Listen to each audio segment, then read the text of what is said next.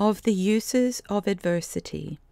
It is good for us that we sometimes have sorrows and adversities, for they often make a man lay to heart that he is only a stranger and sojourner, and may not put his trust in any worldly thing. It is good that we sometimes endure contradictions, and are hardly and unfairly judged when we do and mean what is good, for these things help us to be humble and shield us from vainglory.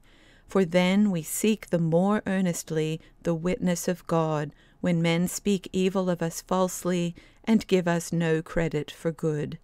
2. Therefore ought a man to rest wholly upon God, so that he needeth not seek much comfort at the hand of men.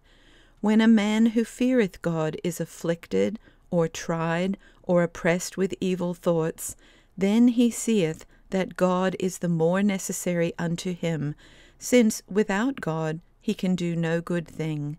Then he is heavy of heart, he groaneth, he crieth out for the very disquietness of his heart.